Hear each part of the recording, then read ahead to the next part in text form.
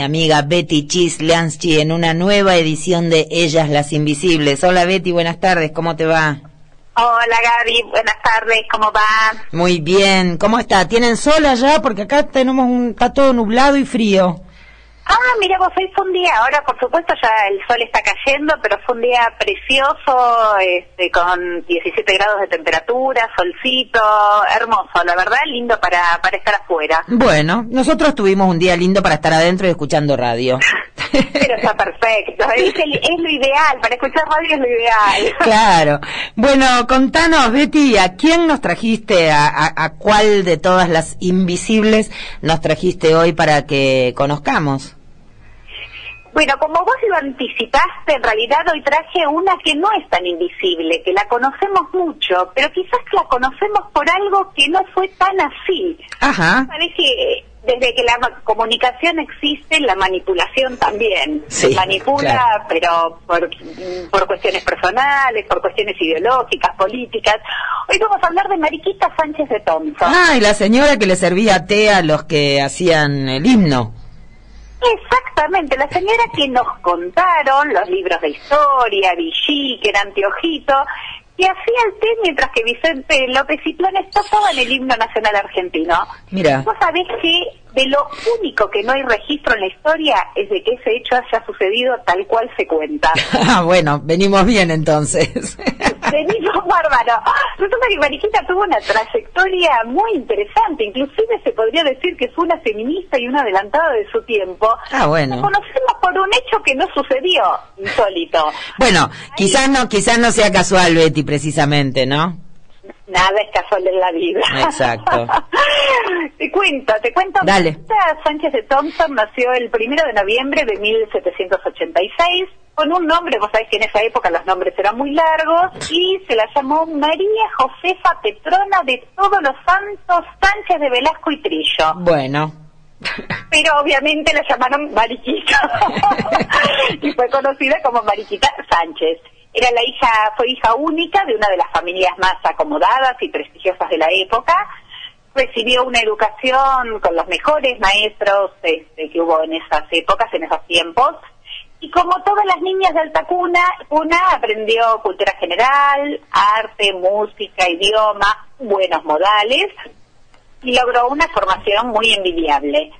Eh, fue hija de Cecilio Sánchez de Velasco y de doña Magdalena Trillo y Cárdenas. Viuda en primeras nupcias de un riquísimo y poderoso comerciante de Buenos Aires que se llamó Manuel del Arco, cuya fortuna finalmente hereda nuestra amiga Mariquita. Bien. lo del estreno del himno, que bueno, como dije antes, puede ser leyenda, se dice que, mm, que fue interpretado por primera vez eh, el día 14 o el 25 de mayo de 1813. En realidad no se sabe bien la, la fecha, pero bueno, como todo fue, no se sabe bien nada, ni siquiera si realmente fue que sucedió, donde se dice que sucedió, tampoco se tiene la fecha exacta. Sí sabemos que se creó, este, o se, se tocó por primera vez el 11 de mayo de, de 1813. Pero si bien no sabemos bien lo del himno, lo que sí sabemos con seguridad es que desde el año 1808 se hicieron famosas las tertulias en la casa donde vivía ella. Estaba en la calle Unquera, más conocida en esas épocas como del Empedrado o del Correo, que no es nada más ni nada menos que la hoy peatonal calle Florida ah, al 200, o sea, estamos hablando de lo que sería hoy a Florida y Rivadavia, por ahí a dos cuadras de, la Plaza de Mayo. Y en esas reuniones asistían hombres como Juan Martín de Puerredón, Nicolás Rodríguez Peña, Bernardo de Monteagudo y Carlos María de Alviar, entre muchos otros. Y allí se tejían y se destejían alianzas políticas, se formaron asociaciones públicas como la Sociedad Patriótica o algunas secretas como la Logia. O sea que evidentemente Mariquita abría sus puertas para algo mucho más que solamente tocar el himno nacional argentino. Así es. Una, una partidaria de la independencia, eh, su apoyo a la Sociedad Patriótica de Monteagudo en 1812 no le impidió al mismo tiempo ser amiga de Rivadavia en el año 1823 y precedió eh, en dos ocasiones la Sociedad de Beneficencia. Esta buena relación tampoco le impidió hacerse federal, más o menos por el año 1829, ni estableció ser mentora de la generación literaria del 37 y luego adherir a los unitarios y Urquiza más adelante. ¿Vos te acordás de esa famosa frase de Groucho Marx? Yo tengo mi ideología, pero si no les gusta tengo otra. Tengo otra, claro. Mariquita iba por ahí, pero este... bueno, es que hay hombres guapos en todos lados. Totalmente, totalmente. Pero bueno, en ese plano te cuento que mariquita, que no era tan mariquita, mariquita que es un... Lamentablemente se utiliza esa palabra en forma despectiva muchas veces, pero realmente más que mariquita era María. Tenía una personalidad arrolladora y se manifestó esa personalidad desde muy temprano. Por eso algunos historiadores le, incluyen dentro del grupo de, feministas. Todavía no tenía 15 años cuando se enamoró y comprometió con su primo Martín Thompson, contra la opinión de sus padres. Su tenacidad la llevó a protagonizar uno de los juicios de disenso más famosos de la época. Te cuento que por aquel entonces eh, la real pragmática sobre hijos de familia, que regían todas las posesiones españolas desde 1778, recordemos que estamos en plena época del virreinato, establecía que los hijos de blancos menores de 25 años solo podían casarse y contaban con el consentimiento de sus padres, tutores o encargados. Este deposismo no tuvo una aplicación pacífica y dio lugar luego a los llamados juicios de disenso, que era cuando los novios buscaban una autoridad mayor y que les diese ese consentimiento. Ah, mira Fue lo que sucedió precisamente con el caso de, de Mariquita y su primo Martín. ¿Por qué? Porque tanto el padre de Mariquita, don Cecilio Sánchez, como su madre, Magdalena Trillo, se negaron a dar su consentimiento, ya que para ella tenían vista a otro muchacho que estaba emparentado por el lado materno. Sí. Las hostilidades comenzaron cuando Martín Thompson, que era un alférez de Marina, fue trasladado de Buenos Aires primero a Montevideo y después a Cádiz, aparentemente no casualmente, sino que ahí don Cecilio algo tuvo que ver y este, se le intentó imponer en ese momento a Mariquita eh, un candidato familiar que era don Diego del Arco. La niña se negó e hizo una declaración ante autoridades eh, competentes de su voluntad de casarse con Martín Thompson. ¿Cuál fue la respuesta? La encerraron en un convento durante ah. un tiempo.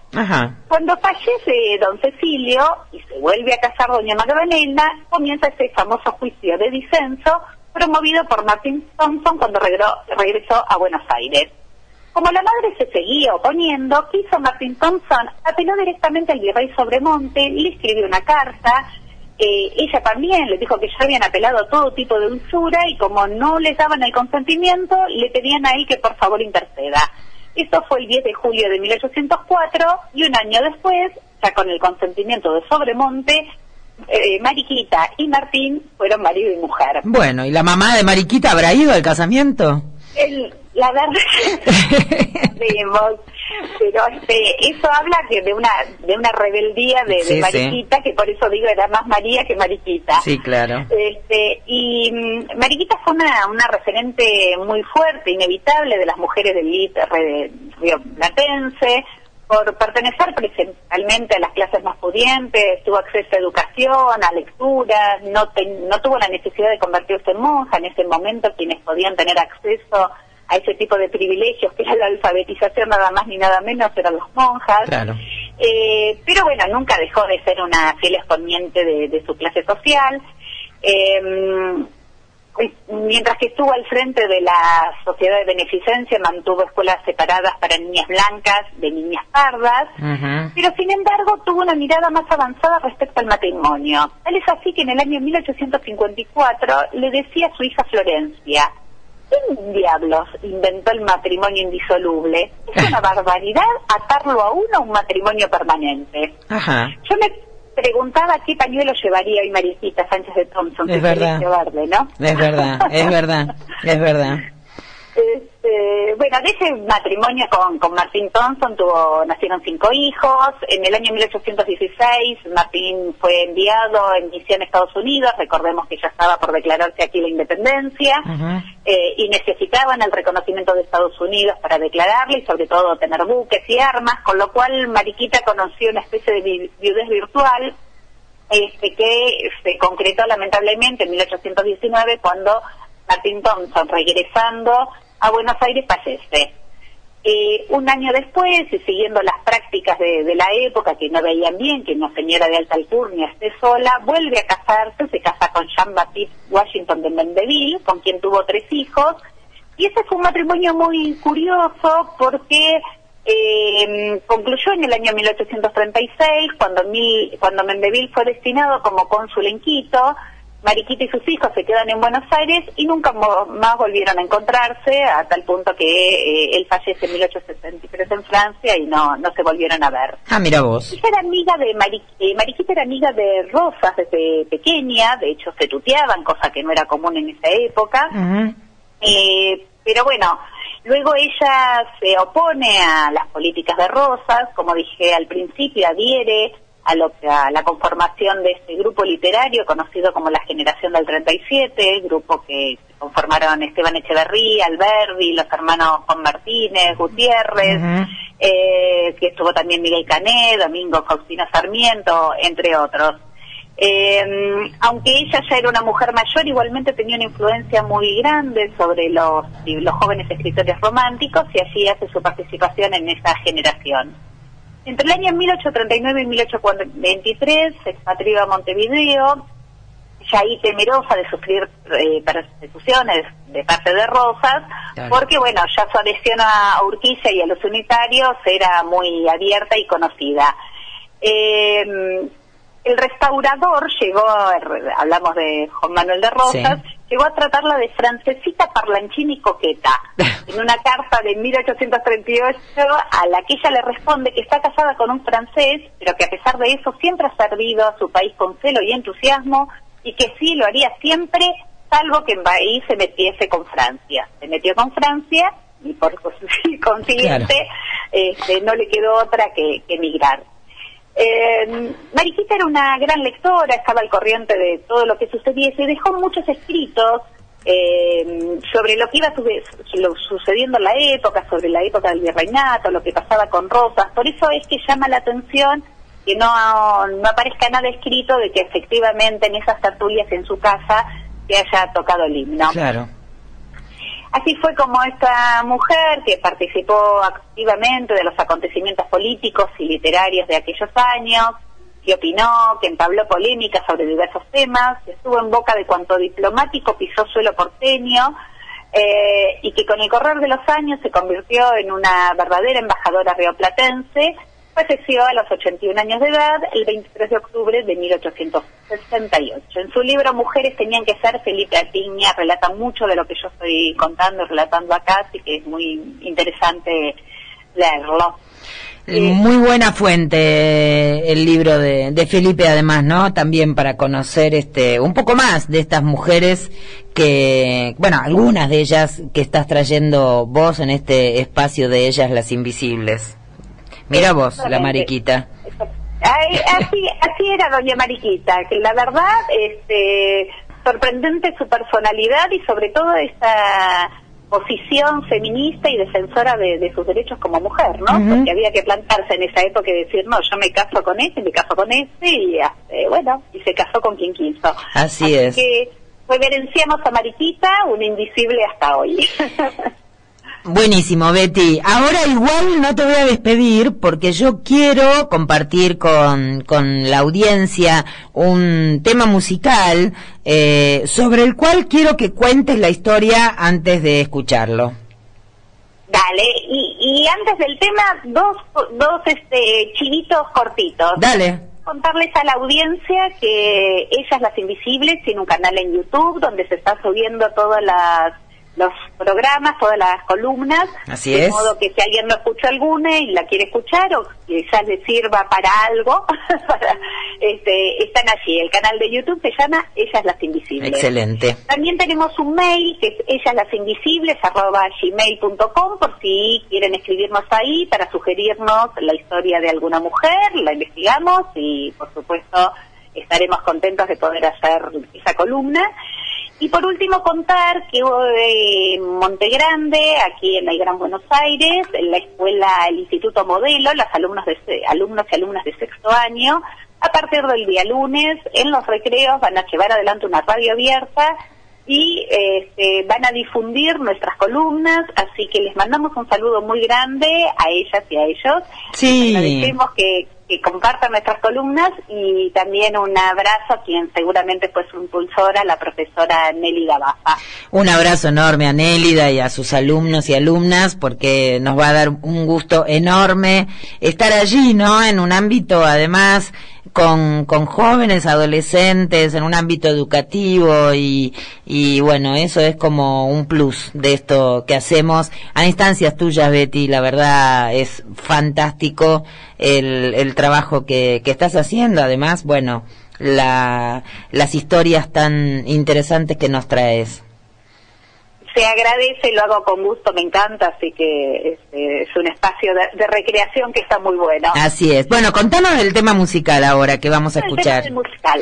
Este tema musical que se llama Decilo con su voz, eh, que algo habíamos hablado en el primer programa cuando hicimos la presentación, eh, es un tema compuesto por Félix Ángel Córdoba, eh, un compositor que tiene unos temas de una profundidad quizás no es tan conocido, pero sus, sus temas realmente tienen unas letras muy profundas.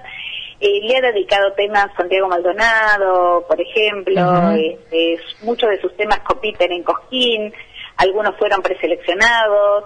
Eh, y este está dedicado a las mujeres y me pareció que era muy atinado ponerlo o que lo podamos compartir, lo podemos escuchar, porque eh, él hace referencia en un momento, dice, lo que se esconde vuelve a aparecer, lo que creías perdido te vuelve a bordar, cuando el volcán vomita para adentro te quema. Yo creo que muchas de estas mujeres de las cuales venimos hablando precisamente es eso, son volcanes que, tuvieron y tienen dentro de sus pechos, de su sangre, que, lejos de vomitarlos para adentro y de quemarse, lo han vomitado para afuera y, y, aunque han sido escondidas e invisibilizadas, volvieron a aparecer a través de la historia y podemos este, conocer lo que hicieron y somos nosotras, las mujeres que vivimos en pleno siglo XXI, unas herederas de ellas. Mm. Bien dicho, y además Betty creo, tomando esa misma imagen, que... voz de Elina Hernández y en guitarra Claudio Turica. Bueno, ya lo vamos a escuchar, pero quería decirte que además, tomando la misma imagen del volcán, eh, tu trabajo, tu tarea, tu, tu aporte de cada sábado aquí en Ellas las Invisibles, en el marco de día 6, es también eh, una manera de sacar ese fuego que está oculto, ¿no? En, muchos casos. Muchísimas gracias. Eh, es la idea y bueno, sumemos volcanes. de eso se trata. Gracias, Betty. Nos vamos entonces escuchando el tema de Silo con su voz, eh, interpretado por Elina Hernández y Claudio Turica en guitarra y escrito por, escrito y compuesto por Félix Ángel Córdoba. Gracias, Betty. Nos volvemos a encontrar el sábado que viene. A vos, beso grande y beso a toda la audiencia. Un abrazo. Nos vemos tu sábado. Chao, Río de penas de tu corazón, mojará tu boca, desaguan tu voz. Se hace palabra el dolor hundido en el silencio. Una tras otra las capas de sal fueron recubriendo tu alma de cristal y una tristeza profunda emerge y te inunda.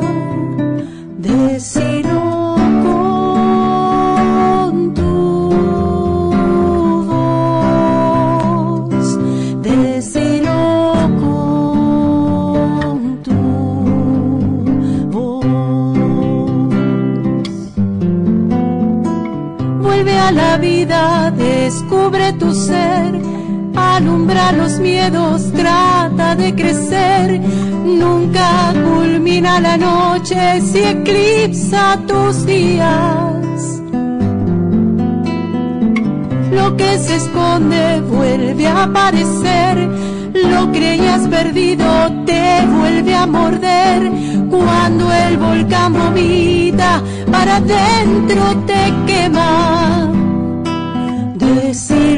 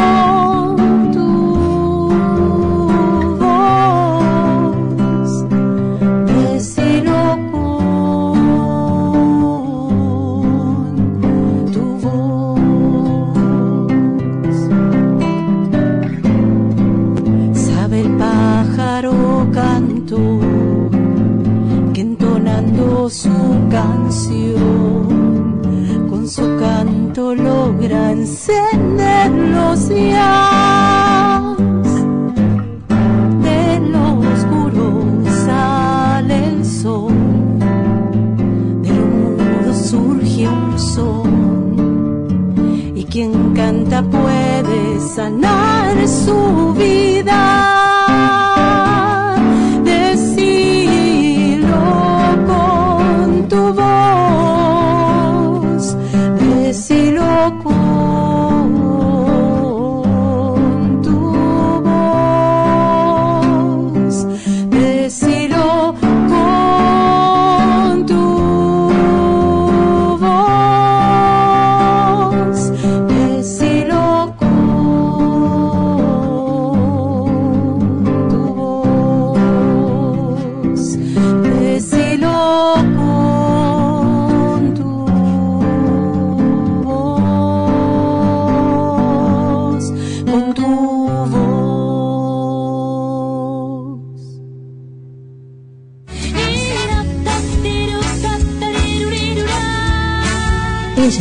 invisibles.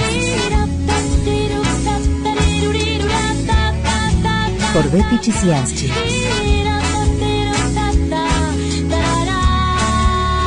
Ellas.